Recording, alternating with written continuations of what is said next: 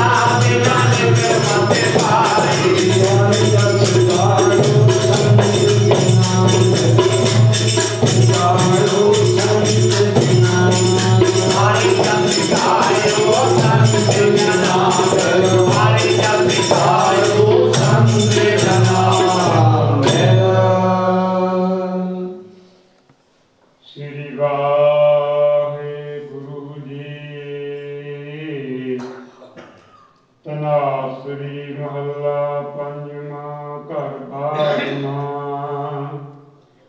ਏਕ ਓੰਕਾਰ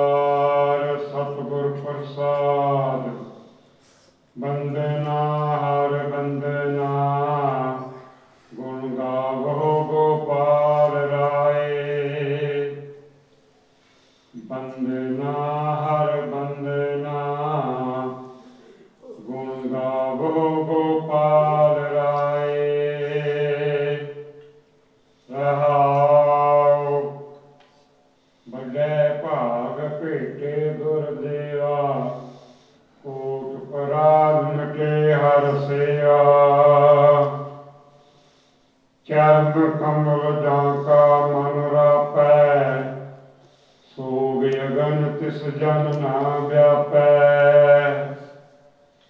ਸਾਗਰ ਤਰਿਆ ਸਾਧੂ ਸੰਗੇ, ਨਿਰਭਉ ਨਾਮ ਜਪੋ ਹਰ ਰੰਗੇ। ਪਰ ਧਨ ਦੋਖ ਕਿਛ ਪਾਪ ਨ ਫੇੜੇ।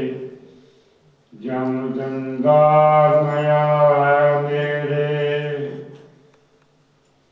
ਤ੍ਰਿਸ਼ਨਾਗਨ ਪ੍ਰਭ ਆਪ 부ਝਾਈ ਨਾਨਕ ਉਦਰੇ ਪ੍ਰਸਰਨਾਈ